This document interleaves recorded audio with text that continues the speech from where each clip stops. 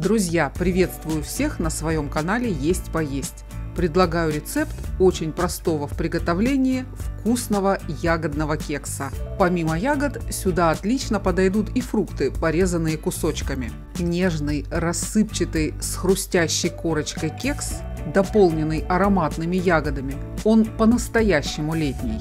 Эту же выпечку можно сделать и в виде пирога, а список ингредиентов смотрите под описанием к видео. В мягкое масло комнатной температуры добавляю ванильный сахар, соль и сахар. Взбиваю миксером до растворения сахара и до получения светлой пышной массы.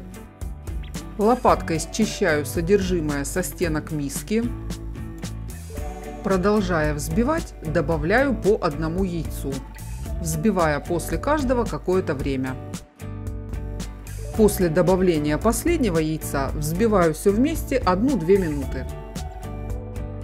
Добавляю сюда сметану, у меня 20% жирности, и аккуратно размешиваю лопаткой.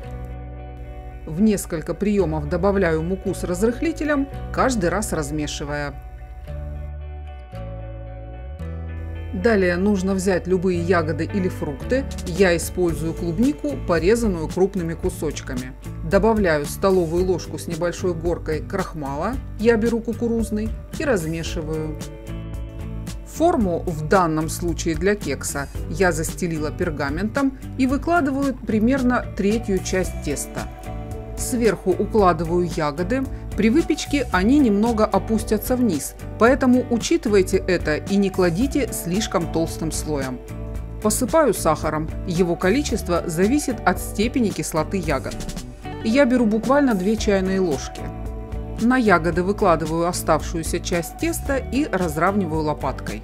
Отправляю в разогретую до 180 градусов духовку. Обычно кекс у меня выпекается около часа, а вы ориентируйтесь по своей духовке и по форме, которую используете, проверяя на готовность деревянной шпажкой.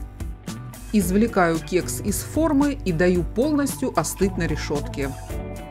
Остывший кекс обильно посыпаю сахарной пудрой. Отрезаю кусочек, посмотрите, каким он получается внутри много сочных ароматных ягод, структура мягкая, нежная и при этом рассыпчатая с хрустящей корочкой. Хотелось бы отметить несколько моментов. При данном количестве сахара кекс получается умеренно сладким, поэтому если вы любите хорошо сладкое, добавляйте сахара больше.